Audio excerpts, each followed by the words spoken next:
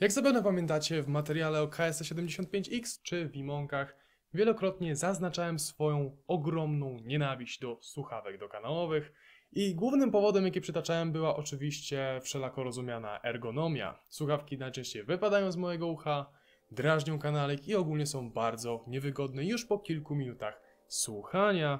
Ale im dłużej to siedzę na audioforach, tym coraz częściej spotykam ludzi, którzy bardzo ambitnie podchodzą do tematu do kanałówek i spotkałem właśnie kilka takich osób, e, porozmawiałem z nimi, przez co ostatecznie mocno mnie nakierowali i dzięki nim kupiłem swoją pierwszą tanią parę słuchawek dokanałowych. I szczerze powiedziawszy, ta para sprawiła, że podjąłem w życiu bardzo dużo poważnych decyzji. Mija 3 miesiące odkąd tę parę posiadam, tak więc wydaje mi się, że to jest dobry czas, żeby zrobić o niej materiał, tak więc zapraszam Was do recenzji słuchawek dokanałowych Teen Audio T2.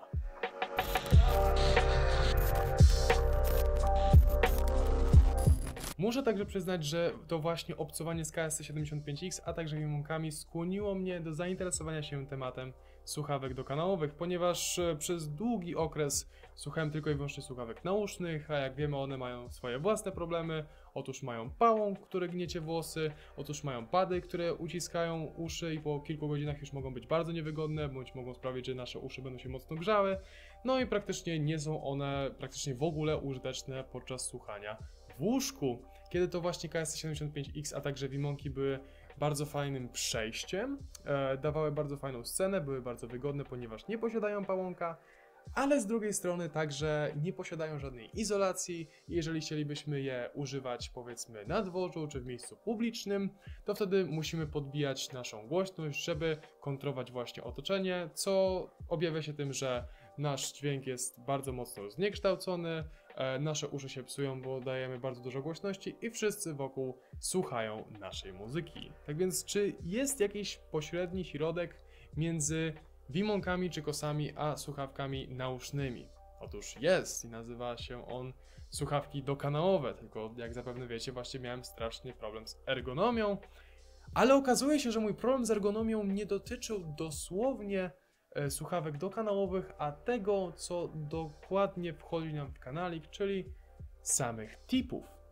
Otóż T-Audio T2 jest troszeczkę inną parą pod tym względem, ponieważ T-Audio T2 stokowo posiada tipy piankowe. T-Audio T2 przychodzą w bardzo stylowym, minimalistycznym opakowaniu. Otwieramy je, widzimy kopułki i kabel. Po wyciągnięciu denka ukazuje nam się cały kabel i trzy pary tipów silikonowych, a gwiazda wieczoru, czyli właśnie tipy piankowe, są już domyślnie założone na słuchawki.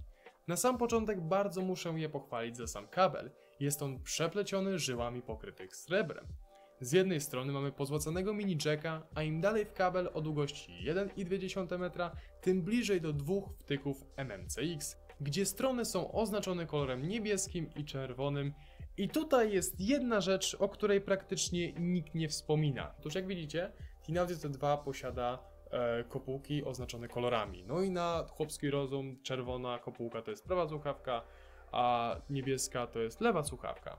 No i sprawa wygląda następująco, że na stronie ani w instrukcji obsługi Teen Audio w ogóle nie podaje, który kanał jest przez co ludzie troszeczkę zaczęli eksperymentować i zamieniać kopułki miejscami na kablu, przez co niebieska słuchawka stała się prawą, a czerwona słuchawka stała się lewą. I szczerze powiedziawszy, to sprawiło, że dla niektórych osób te słuchawki stały się o wiele wygodniejsze. I teraz Wam właśnie tutaj pokażę zdjęcie, jak wygląda oryginalnie, a jak wygląda właśnie e, przemieniona słuchawka i w gruncie rzeczy to wygląda tak, że wtedy pałąk siedzi w wewnętrznej stronie małżowiny i szczerze powiedziawszy, ja o wiele bardziej preferuję właśnie ten typ zamieniony, więc jeżeli na początku będziecie mieć straszne problemy z wygodą z T-Audio T2, bo ta kopułka strasznie może się wbijać właśnie w e, małżowinę, to polecam Wam zamienić po prostu kopułki, ponieważ jest to o wiele wygodniejsze. Przechodząc do samych kopułek, są one asymetryczne, zaokrąglone i zrobione z metalu. Z tyłu jedyne co możecie zobaczyć to malutki port. Po włożeniu do ucha możecie zobaczyć jak bardzo wystają i może to być problem dla osób z mniejszymi uszami, ponieważ uciskający kawałek metalu nie jest zbyt ciekawym doświadczeniem. Przechodząc do przetworników, mamy tutaj w każdej kopułce po dwa przetworniki dynamiczne. Zakres częstotliwości od 12 Hz do 40 kHz i impedancję na poziomie 16 ohmów. Te dwa są bardzo czułymi słuchawkami. dzięki czemu zagrają głośno nawet z najtańszych źródeł, jednak też mogą ukazać ich ewentualne szumy, jak to zrobiły w moim X-Duo X32, więc miejcie to na uwadze. Skoro już wszystkie aspekty dotyczące ergonomii, a także budowy i specyfikacji zostały omówione, to czas przejść do samego dźwięku. Ale zanim jeszcze, oczywiście, jeżeli ten materiał Wam się podoba, to zapraszam Was do zostawienia lajka, a także subskrypcji, jeżeli jesteście nowymi widzami. Czas teraz przejść do tego, jak Teen Audio T2 brzmi. I tutaj szczerze muszę powiedzieć, że Teen Audio T2 kupiłem głównie z myślą właśnie dla samej wygody i dla samych pianek. I zacznę tutaj od pewnej kontrowersji, ponieważ wiele osób określa te dwa jako słuchawki, które nie posiadają za wiele basu. I szczerze powiedziawszy, do tej pory w życiu wybierałem parę słuchawek, które posiadają bardzo dużą ilość dołu i mogą o tym dowieść właśnie takie pary jak V-Mody M100 i szczerze powiedziawszy Teen Audio T2 z poziomem basu stoi na bardzo podobnym poziomie, z tą różnicą, że jest on o wiele lepiej kontrolowany i nie rozlewa się tak bardzo, przez co może się wydawać tak jakby tego basu było mniej, ale jeżeli dochodzimy właśnie do czegoś bardziej dynamicznego, jakieś bardziej dynamiczne kawałki, chociażby orkiestrowe, to wtedy ten bas zaczyna nam się mocno ujawniać jako taki szybki, taki bardzo, można powiedzieć, ambitny. Soprany także wybijają się przed szereg, zostawiając średnicę minimalnie w tyle, ale nie nazwałbym tego brzmienia fałką, ponieważ te zaakcentowania są naprawdę nieznaczne i przez to także góra w żadnym razie nie sibiluje.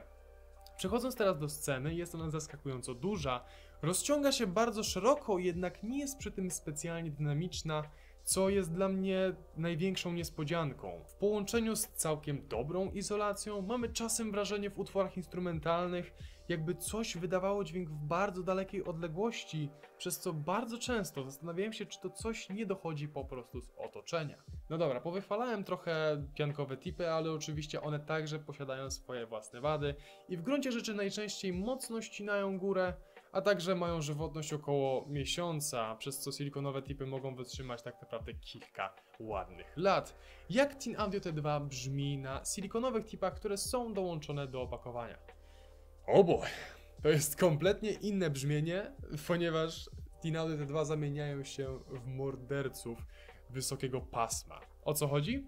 Otóż e, średnica jest troszeczkę bardziej wyeksponowana, zmniejszamy ilość basu, można wtedy powiedzieć, że Teen 2 mają troszeczkę mniej basu i góra kompletnie bierze kontrolę. Jest naprawdę wysoko, ale dla wielu osób już może się wydawać, że te słuchawki mocno sybilują. I tak, jeżeli na przykład weźmiemy taki wokal e, z soundtracków anime, bardzo często możecie się spotkać z sybilowaniem, Dlatego też, jeżeli nie lubicie mocnej góry, to radzę Wam zostać z Teen Audio T2 na piankach. Będą wygodniejsze i ta góra będzie o wiele bardziej spokojna i relaksacyjna. Czas przejść do małego podsumowania. Zanim jeszcze spróbowałem Audio T2, to sądziłem, że słuchawki dokanałowe to jest tylko taka pewna alternatywa do użytkowania w miejscu publicznym, kiedy osoby chcą mieć dużo izolacji, a także nie chcą prezentować się w miejscu publicznym z ogromnymi słuchawkami nausznymi, że grają samym sopranem, że mają ogromną ilość izolacji, przez co scena tak naprawdę zakrawa o mono, a także są po prostu niewygodne. I można szczerze powiedzieć, że Tinality 2 całkowicie zmieniło mój światopogląd na tyle, że dla tej pary, którą kupiłem za 120 zł, postanowiłem sprzedać swoje Wimody, które zostały sprzedane gdzieś w marcu, jak pamiętam, i od tamtej pory jedyną osobistą parą, jaką posiadam, jest właśnie Teen Audio T2. I jeżeli chodzi o moją przygodę z słuchawkami dokanałowymi, to teraz czas po prostu szukać idealnej pary, ponieważ z Teen Audio T2, jak jestem zadowolony, to wydaje mi się, że można pójść troszeczkę wyżej i w związku z tym aktualnie mam jeszcze 6 par słuchawek dokanałowych do stworzenia im recenzji, które już przetestowałem i mam różne recenzje na ich temat, które planuję wypuścić do końca tych wakacji. Tak więc mam nadzieję, że ten odcinek Wam się podobał. Jeżeli tak, to zostawcie łapkę w górę, a także subskrypcję, jeżeli jesteście nowymi widzami, a także chcecie zobaczyć właśnie recenzję tych poszczególnych par słuchawek dokanałowych, którą może Wam w sumie teraz wylistuję, żebyście wiedzieli na co macie czekać. Zapraszam także na swojego Instagrama bitwolf.film, gdzie możecie zobaczyć moje zdjęcia, możecie oglądać moje życie na Instastory, a także możecie wysyłać mi prywatne wiadomości z pytaniami, na direct message. Tymczasem ja się z Wami żegnam. Widzimy się przy okazji kolejnych odcinków. Trzymajcie się i na razie.